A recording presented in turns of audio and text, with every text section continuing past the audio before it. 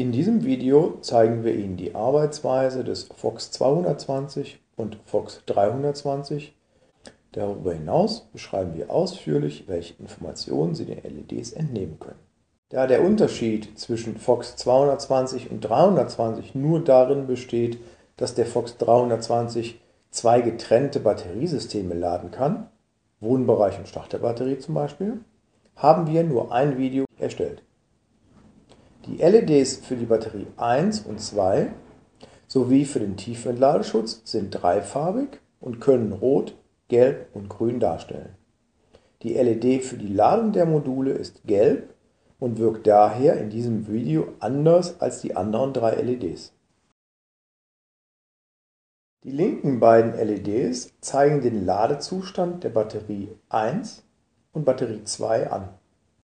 Die dritte LED von links leuchtet gelb auf, sobald ein Ladestrom von den Modulen in die Batterie fließt und fängt an zu blinken, wenn der Regler den Ladestrom herunterregelt, weil die Batterie sonst überladen würde. Die vierte LED von links zeigt den Status des Tiefentladeschutzes oder der Nachtlichtfunktion an. Die am Ausgang Out angeschlossenen Verbraucher werden immer nur von der Batterie 1 mit Strom versorgt. Batterie 2 kann mit dem Fox 220/320 nur geladen werden. Nun zu der Funktionsweise des Reglers. Zu Beginn ist der Regler noch nicht an einer Batterie angeklemmt und Verbraucher sind ausgeschaltet. Das Solarmodul ist abgedeckt. Klemmen wir nun Batterie 1 an, beginnt der Regler zu booten und führt einen Selbsttest aus. Beide LEDs für Batterie 1 und 2 blinken schnell in grün, kurz danach mal länger, dann leuchten beide LEDs mal kurz in gelb.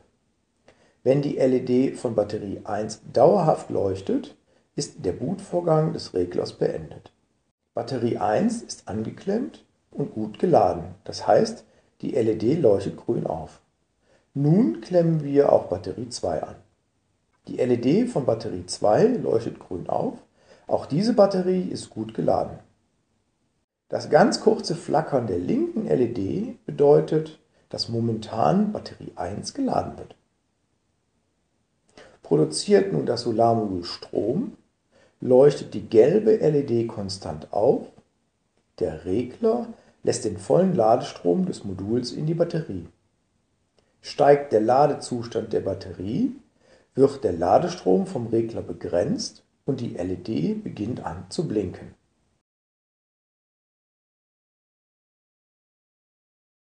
Wird nun die Batterie 1 durch einen Entladestrom belastet und somit entladen, wird wieder konstant geladen. Die LED von Batterie 1 ist nun gelb und zeigt an, dass die Batterie noch gut aber nicht mehr ganz voll geladen ist. Wird die Batterie weiter entladen, schaltet die LED von Batterie 1 auf Rot, gleich stark entladen. Wird noch weiter Strom entnommen, fängt die LED an zu blinken, es droht eine Tiefentladung.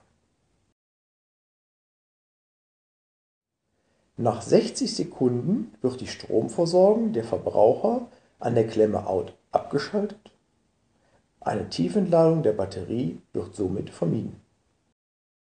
Werden die Verbraucher durch den Tiefentladeschutz abgeschaltet, erholt sich die Batterie 1 recht schnell wieder, die LED leuchtet wieder gelb, die rot blinkende LED des Tiefentladeschutzes zeigt an, dass die Verbraucher ausgeschaltet wurden.